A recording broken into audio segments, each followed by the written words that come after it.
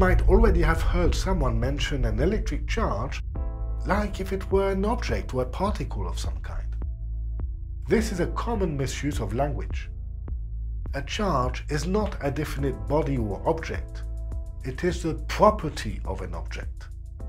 Let's dive into this idea. Take this pen. What can you tell about it? It's blue. So I can say about the pen that its color is blue.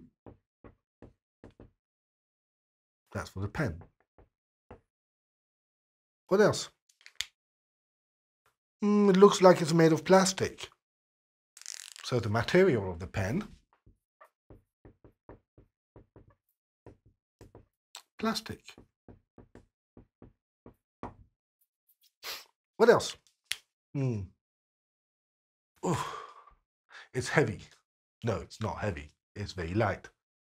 So, but it still has a mass.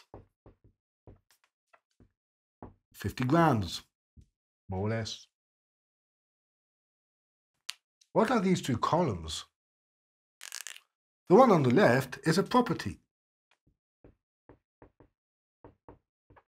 And on the right, it's the value of this property, or the attribute. Let's call it value.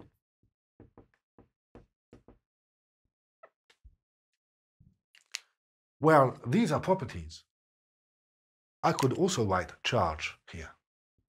Charge is a property of the pen. Let's assume that its value is for now zero. Now let's consider an electron. An electron is an elementary particle which is part of an atom. Electron. It's also an object, so it also has properties and values associated with it. For example, its mass is 9.1 by 10 to the minus 31 kilograms. It also spins on itself, so it has a spin, which we can say it's a one half. It's just a value associated with a property. It also has a charge.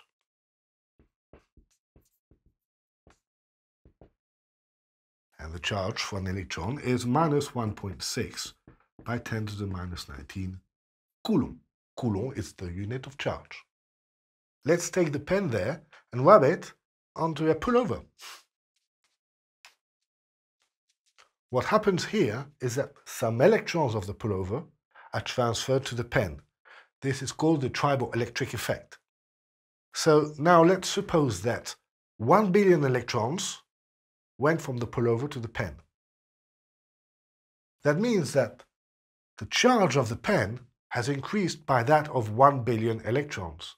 1 billion is 10 to the 9. That I multiply by the charge of one electron.